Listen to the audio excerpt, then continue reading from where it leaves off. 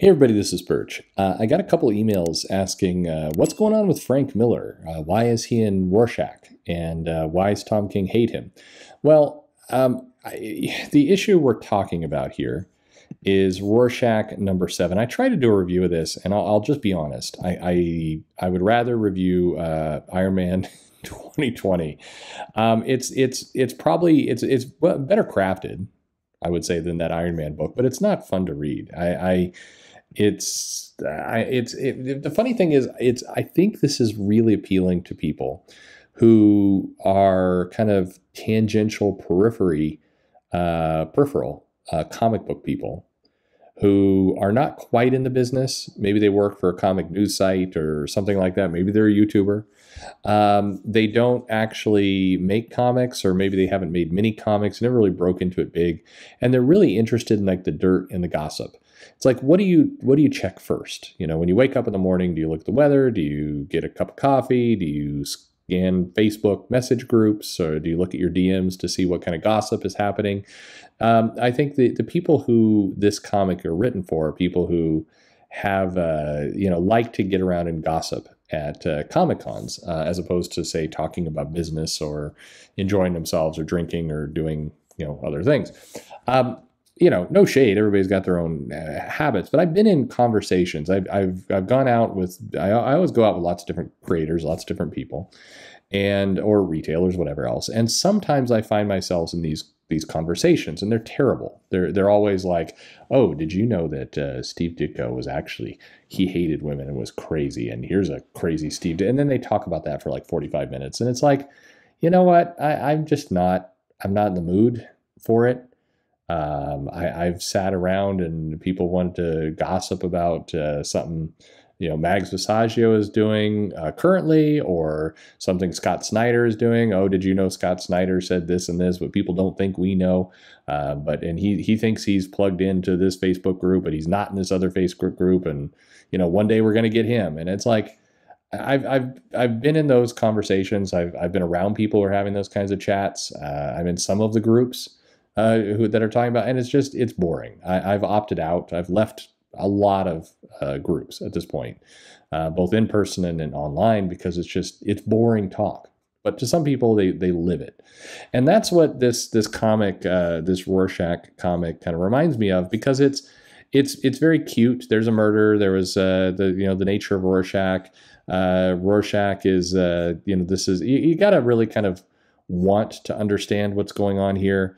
Um, and if you really buy into kind of the the mad, insane aspect of it, then maybe this is this is good for you. But basically, in this issue, um, we are we reveal that at least a current Rorschach or a Rorschach is Frank Miller. That he was kind of turned into Rorschach somehow, um, and then uh, you know that uh, this this uh, Will Myerson character, who was a fictional creator modeled after Steve Ditko was a previous Rorschach, and he was hanging out with this uh, this young girl called Laura Cummings, and Laura Cummings uh, has the either the ability to turn people into Rorschachs, or she kind of brainwashes them, manipulates them, or gets them. Uh, who knows what what is going on? But somehow she is like the common thread between different uh, Rorschachs. And, and so this comic is also pulling from a real world experience where uh, there was a seance tape and a bunch of, bluntly, a bunch of stuff that if you really love and you care about, you already know. And chances are you're not listening to this show anyway.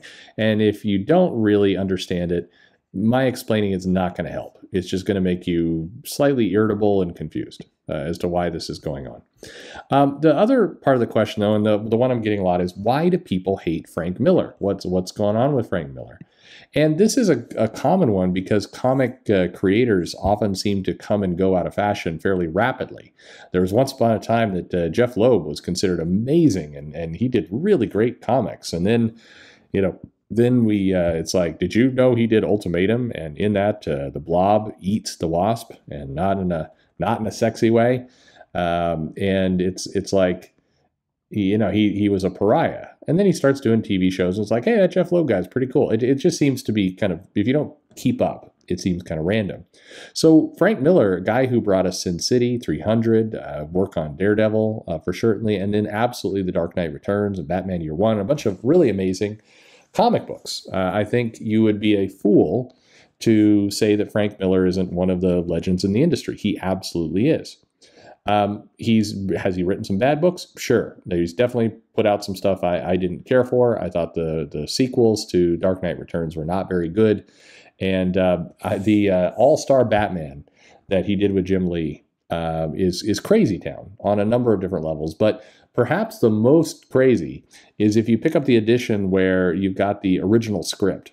There is some uh, to put it bluntly, batshit crazy stuff that Miller writes, like zoom in on Vicky's ass. We want a good picture of her ass. It's a good ass, the kind you like to eat. And it's like, whoa, what? Why would you write that down? In like, I think Jim Lee's got it. You just write, you know, draw her looking pretty sexy. You you don't need to, like, it feels like it felt weird. I'm just, just it was weird. Um, it's uh, I've, I've seen a number of scripts from a number of different writers that it's like you, you're you're putting way too much detail into this scene. It's always it's it's it's slightly creepy pervy when it's uh, something sexy in nature and then it's super disturbing when it's something like we're to show the eyeball just come flying out. It's going to have like a little wormy vein behind it, and there's going to be blood just spraying. And you're like, whoa, whoa, whoa, whoa. The, the, artist will take care of it. You don't need to write. You don't need to write all this down. Um, but this is not why people dislike Frank Miller. Much much of uh, why people uh, got into uh, anger at Frank Miller. Uh, came from kind of two moments that happened fairly simultaneously. Uh, the first was a uh, um, he wrote this book, Holy Terror, which was uh, it was it was basically Batman taking on Al Qaeda is probably the best way to put it. Um, Frank Miller watched 9/11 go down, um, you know, in the vicinity, and I think he it, it definitely seemed to uh, tilt him for a little bit. He he had a lot of anger. He said he's had a lot of anger in his words, and he was uh, you know it was he was he, it, it tilted him. He's he's talked about how he went he was going through a dark time. But anyway, in this book, Holy Terror, um, there's a lot of what people have called uh, Islamophobia, because basically the, the the hero murders the shit out of Al Qaeda and a bunch of other, uh, you know, Muslim uh, characters. Uh, gory revenge on Muslims, uh, people have called it. Um, now you you can again you can like this book or hate it. It's a moment in time, but uh, it it was it, anyway. It, it, got a lot of hate that I I think uh, tra- it, transcended just this is a bad book into like this is one of the biggest monsters of all time, uh, Frank Miller, and that that was that's that's a little ridiculous. Um, he also, and I think the two are related.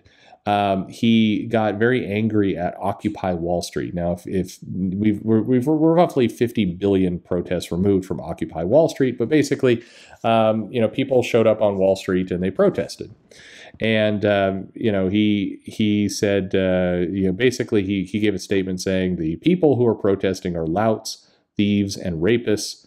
Wake up, pond scum! America is at war against a ruthless enemy.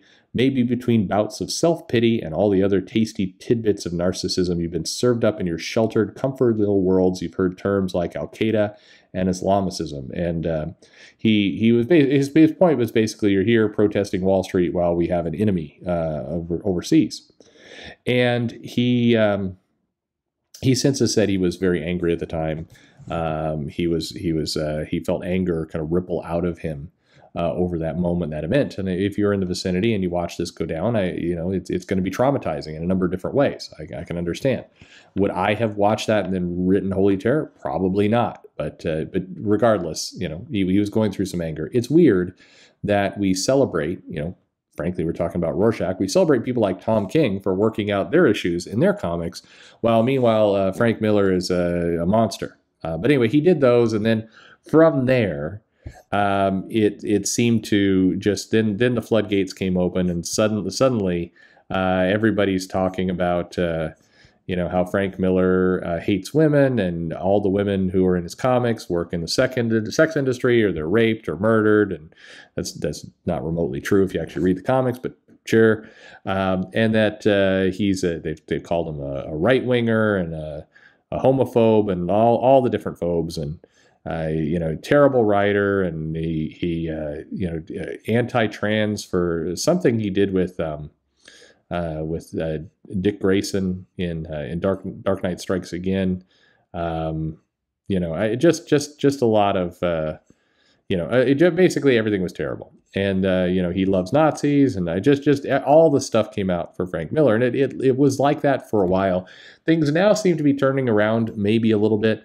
Uh, Frank Miller recently came out and they were saying, "Oh, I'll bet you love Trump," and I think he made the comment, uh, "What do you say? Uh, real real men stay bald." I think, and then a bunch of the the people who have been attacking him suddenly had a newfound love for uh, for Frank Miller as it as it happens. So, um, who knows? Um, you know, it, it's he's one of those people that uh, had contributed a great deal to the comics industry uh, through the certainly through the 80s uh, through the 90s he he he was a, a legend and i think regardless of whether you like his recent work or dislike his recent his work it doesn't it, you don't retroactively alter the past so you know there's your short answer people listening to this either like frank miller hate frank miller uh, who knows uh, it's up that's up to you um, if you dislike Frank Miller, you've got a lot of reasons, I guess, to do that.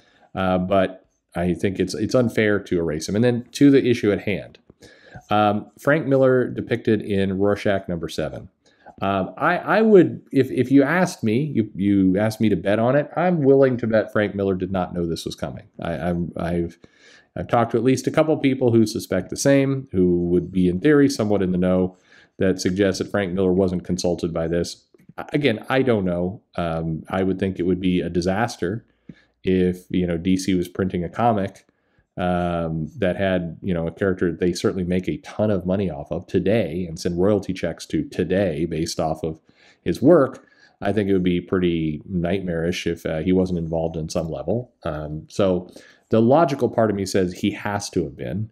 Um, but the petty, uh, stupid people who don't uh, you know, don't seem to respect things that happened in the past make me suspect maybe, maybe not. Um, you know, in terms of is this a good comic? Uh, well, you know, this wasn't a real review. That's up to you. Uh, if you like this kind of insider baseball stuff, um, you know, uh, good good for you. It's uh, this is this is this is yours. Then there you have it. Um, it's not for me. So I'm you know, I'm just I, I, to me it's like you've got all these amazing characters, you've got amazing things uh, that you can talk about and write about and create and imagine. So you know, kind of taking shots at a deceased Steve Ditko and a Frank Miller who's um, you know who's who's not doing very much in the industry anymore, uh, whether intentionally or unintentionally, meta or not, it just feels petty, uh, and it, it feels like you know on some level, people are out of ideas. But again, your mileage may vary. You go to those cons, you get into the right groups, people will happily regale you with hours and hours of amazing gossip. And it's uh, it's a thing. As they say, it's a thing. What do you think? Are you enjoying Rorschach? Do you like this turn? Do you like seeing Frank Miller represented here? Is this is this a comic for you? Uh, are you a person who hates Frank Miller and so you're you're reading this like, yeah, finally he's being portrayed like a lunatic nut?